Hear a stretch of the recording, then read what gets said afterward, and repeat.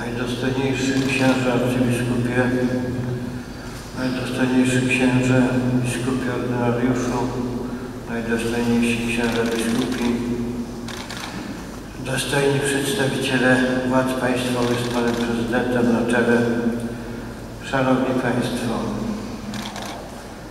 Przyszło mi dzisiaj pożegnać człowieka,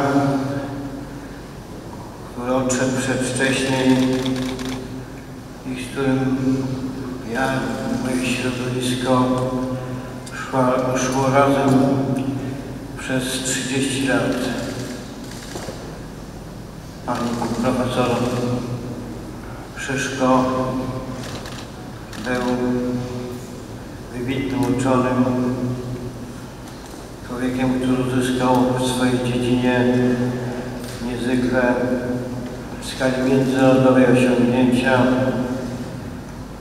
Był człowiekiem niezwykle mocno związanym ze sprawą przyrody, a w szczególności lasu, który naprawdę ukochał. Był jednocześnie kimś o niezmiernie twardych, zdecydowanych poglądach.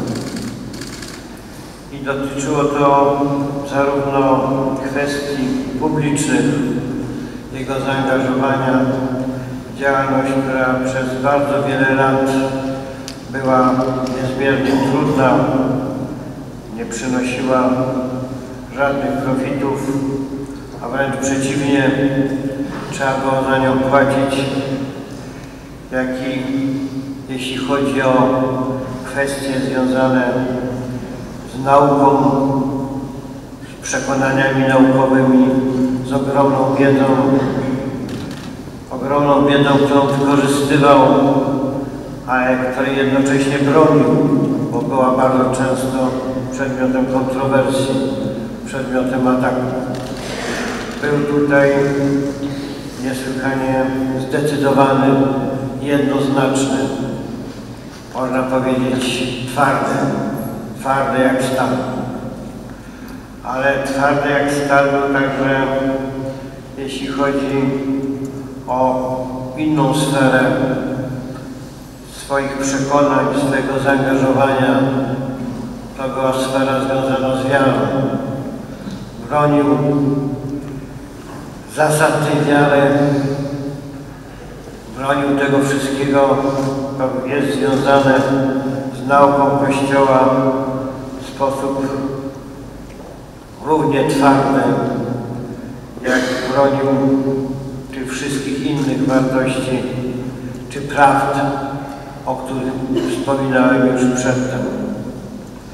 Był, można powiedzieć, człowiekiem w swych przekonaniach integralnym, człowiekiem skonsolidowanym, jeśli chodzi o swój stosunek do świata, stosunek do ludzi. I był jednocześnie kimś, kto łączył w sobie dwie zupełnie, wydawałoby się, przeciwstawne cechy. Z jednej strony był człowiekiem oddzielnym, oddzielnym w tym sensie, że w wielu środowiskach, także w środowisku naukowym, stał często obok. Nie miał takiej tendencji do bycia kimś, kto podporządkowuje się temu głównemu nurtowi. I bardzo wiele lat za to płacił i to płacił bardzo dużą cenę. Był też w niemałej mierze człowiekiem oddzielnym w życiu publicznym.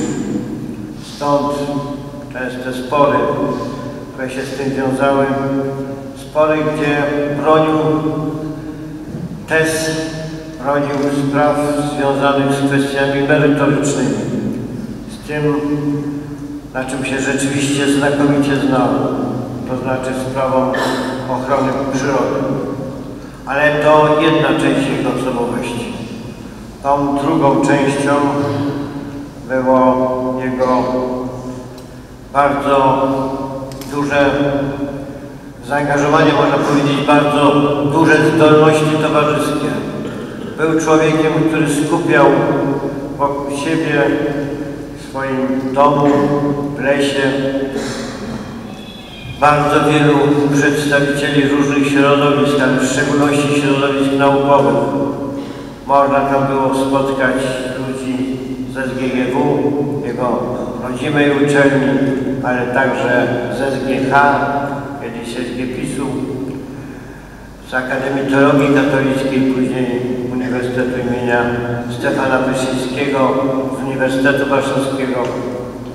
To były, a miałem zaszczyt uczestniczyć niekiedy w tych spotkaniach, spotkania szerokie, z jednej strony towarzyskie właśnie, ale z drugiej strony mające też i inne wartości.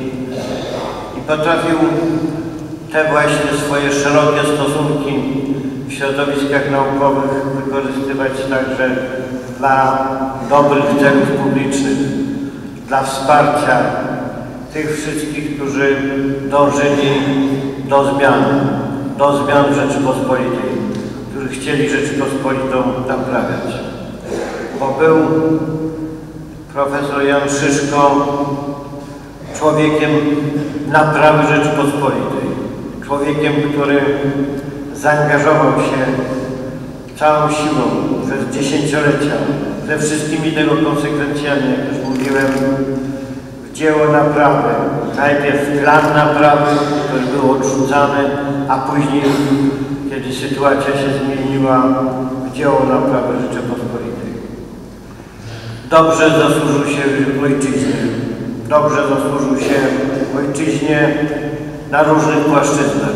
Właśnie angażując się w to dzieło, angażując się w obronę przyrody, w obronę lasu, który tak bardzo kochał, angażując się w obronę naszej wiary, w obronę naszych polskich wartości, w obronę naszych polskich tradycji.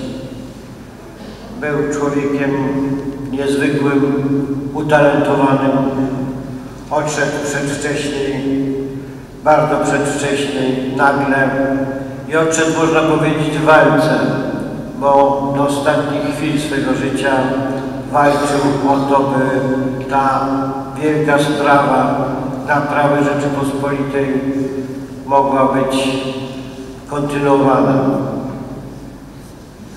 Być może, że ciężar tej walki, ciężar zarówno ten zwykły, wręcz fizyczny, jak i ciężar inny, związany z nieustannymi atakami na niego były przyczyną, czy jedną z przyczyn tej przedwczesnej, tragicznej śmierci.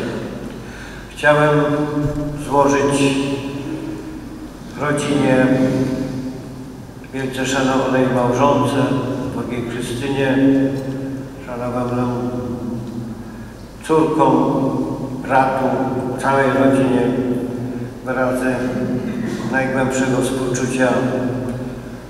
Ponieśliście Państwo wielką stratę. Był to naprawdę straszny cios. Jestem, powtarzam, wstrząśnięty. Jestem głęboko przekonany, że stało się coś dla naszego środowiska, ale także dużo szerzej dla Polski bardzo, bardzo niedobrego i tragicznego. Odpoczywaj w pokoju.